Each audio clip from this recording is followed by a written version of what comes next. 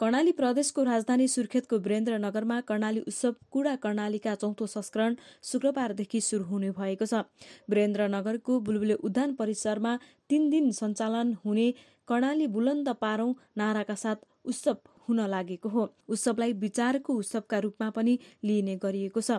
बुधबार उत्सव सञ्चालन गर्दै आएको रीति फाउन्डेसनका संयोजक कमल लम्सालले कर्णालीमा कर्णाली चिन्तन कर्णाली खेल्दो छ यो सहर त्यो सहर भोट र भेट शिक्षा समर्पण दलित र दलिल भोग र भोजन रेडियोको रस संहिताको पाँच वर्ष कति बिस्मात कति वर्ष कर्णाली नदी प्रणाली कर्णालीमा लगानी रूपान्तरण र पुस्तान्तरण सङ्लो समाज सङ्लो राजनीतिक समावेशी शासन डिजिटल डेमोक्रेसी कर्णालीदेखि काठमाडौँसम्म गरी सोह्रवटा सत्र रहेको जानकारी दिएका छन्। हामीले कहिले संहिताको मर्मबारे छलफल गर्यौँ त कहिले छाउ र भाउबारे चिन्तन गऱ्यौँ कहिले खस भाषाका आयामबारे मन्थन गऱ्यौँ त कहिले काला पहाडका तोडाबारे बहस गऱ्यौँ।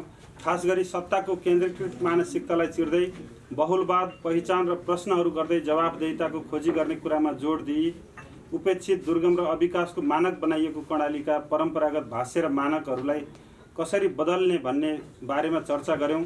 शासक सामु उभिन नसक्ने नागरिकका सीमान्त स्वरहरूलाई प्रश्न किन गर्ने भनेर जवाफदेहिताको लागि खबरदारी गर्न सधैँ उत्प्रेरित गरिरहने ध्येय नै कर्णाली उत्सवको मुख्य उद्देश्य हो।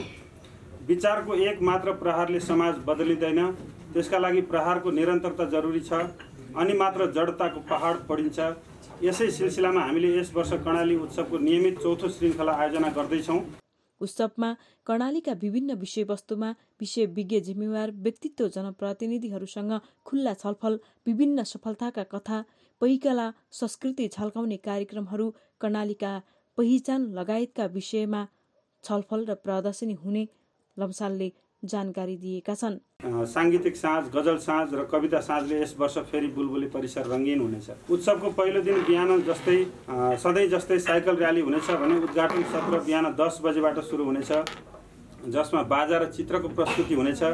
एघार बजे माननीय मुख्यमन्त्री श्री राजकुमार शर्माबाट उत्सवको उद्घाटन र पूर्व प्रमुख निर्वाचन आयुक्त श्री भोजराज पोखरेलज्यूबाट निर्वाचन र लोकतन्त्रका विषयमा विद्युत प्रवचन भएपछि दिउँसो एक बजेबाट विषयगत सत्रहरू सुरु हुनेछन्।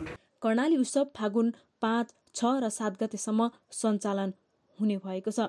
सो उत्सवमा यस वर्ष साठी वक्ता रहनेछन्। कर्णाली उत्सवलाई सञ्चालन गर्न पचासदेखि साठी लाख खर्च लाग्ने अनुमान गरिएको छ। भोलि बिहान साइकल र्याली पनि हुने भएको छ।